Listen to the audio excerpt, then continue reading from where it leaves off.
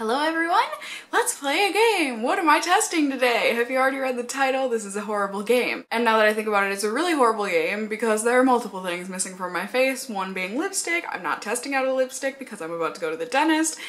And then I'm also missing mascara and eyeliner, but the real thing that I'm testing today Yay, finally! I know, I've been meaning to test this. I've had this for how many months now? I got this in a Sephora Playbox, um, probably two, three, many months ago. I got this. I'm excited. I hear so many wonderful, wonderful things about this eyeliner from Kat Von D. It's supposed to be like the best thing ever created and I just haven't gotten around to purchasing it because I have one from Physicians Formula that I really love and I just haven't felt the need to go buy this, I guess, but that's okay. Good things come in due time, I suppose. And uh, now I have this, got the shade Trooper, and I'm really excited to test it with you guys. Let's hop on over to Sephora, Kat Von D's. I'll hop on to some website and we will read about this product, make sure there's no like special application method that I'm screwing up, and then we'll get on into testing this. So here we go. So like I said, this is the Kat Von D Tattoo Liner. It is $19 and you get 0.02 ounces of product. They only have two colors here. So you've got Trooper, which is the black, and then you've also got Mad Max Brown, which is a rich chocolate brown, but I did get the black in my box. And this is the one that everyone seems to talk about. What it is, it's a liquid eyeliner with an innovative brush tip for effortless, precise application. It's supposed to give you eye perfection with a high pigment, waterproof formula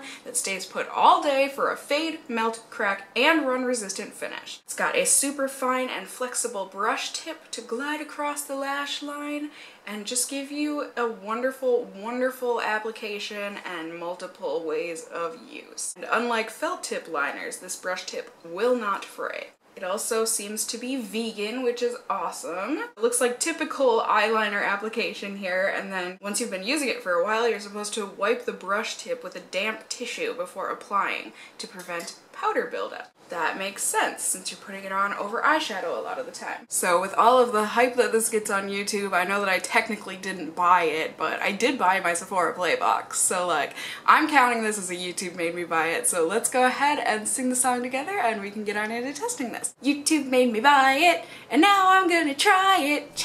Get you zoomed in here. Yeah, there you go. It's got all of Kat Von D's loveliness on there. Shake it up. It seems to have a little clicky mechanism, which is awesome for liquid liner. Get it all shook up. You got me all shook up. And there is the felt tip. I have yet to even swatch this, so I'm very excited. Whew.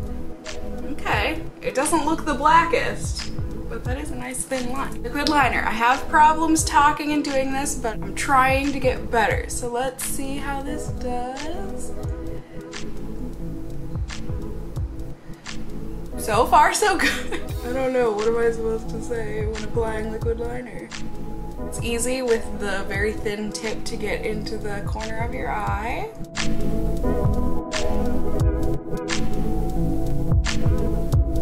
It is black. Like I said, it doesn't look like the blackest. Like I feel like my Physicians Formula 1 is even blacker than this and my Physicians Formula 1 is not super black.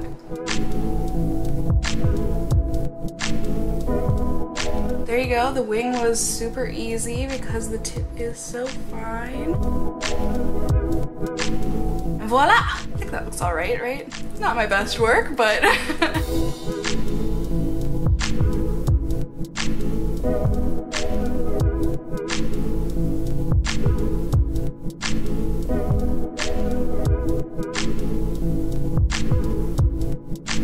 So I do definitely like that this is a buildable formula. You know, some liquid liners, it's like when you try to go back on top of it, it just kind of like crumbles and gets all nasty. So I do appreciate that, especially since this isn't the blackest formula.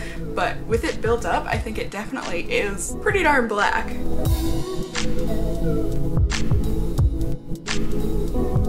Just gonna go ahead and put on my current cocktail of mascaras and I will be talking with you in just a second here.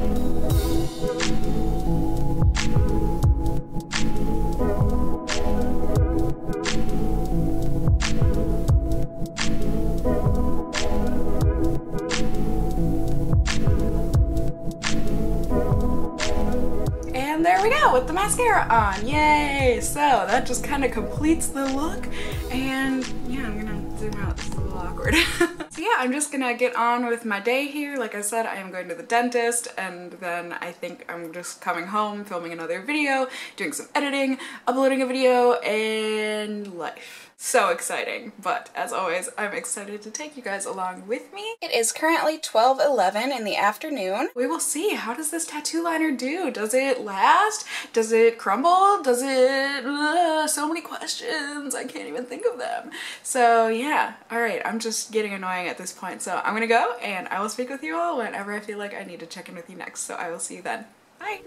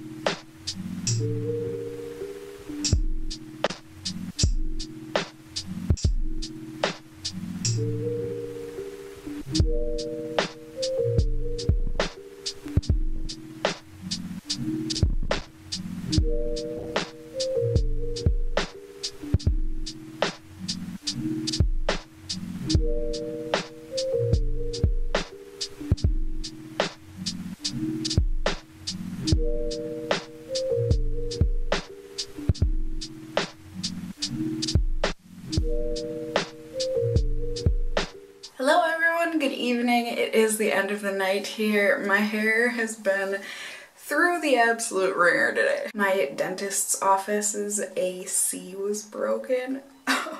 Aka nightmares of all nightmares and horrors for me. But you know, I lived. I have clean teeth now. And yeah, I'm just ready to take off my makeup and go to bed. It is currently just a little bit after quarter after 11. After after in the after evening. no, I didn't really vlog here tonight because I was extra boring and was just editing videos literally for the past like four or five hours, so that's that. Let's look at this eyeliner, shall we? It hung in there, like no problems. I've got a little bit of wear on the inner corner of my eye, but I think that's purely because I do dab at my eyes quite a bit throughout the day. So final verdict for me is that, now I hate to be a Debbie Downer here, it's a good eyeliner. Do not get me wrong, but I think that my Physicians formula is just. My trusty Physicians formula works and looks pretty much exactly the same and it's what, like half the price? So I'm probably going to be sticking with this one. There's nothing wrong with this one. I just think if I can buy it for cheaper, why the heck not? I think that's gonna be my review here. As always, I hope it was helpful and or enjoyable for you to see how this liner works throughout the day. If it was, please do go ahead and give me a thumbs up down below. I would really appreciate it. And as always, I just hope you guys are all doing well. And until next time, just stay well until then. Bye!